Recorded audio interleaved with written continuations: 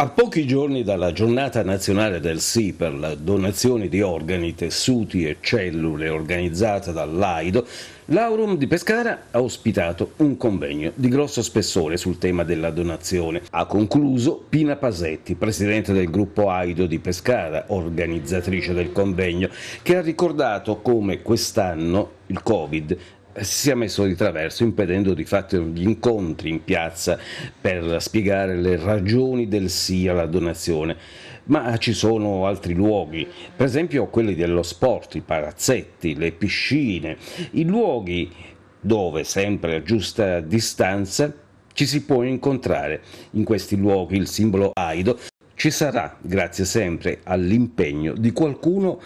dietro le quinte. Possiamo essere presenti nei palazzetti o comunque nelle palestre, nelle piscine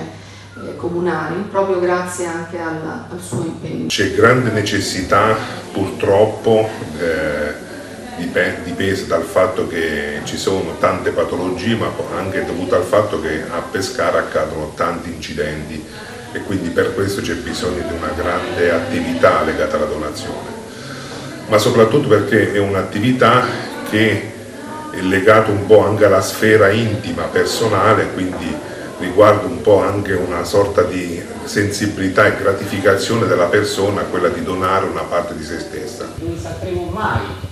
dove, dove andremo, ma noi seguite, seguiteremo ad esserci anche fisicamente. Io penso che saremo sempre presenti nello spirito, nella,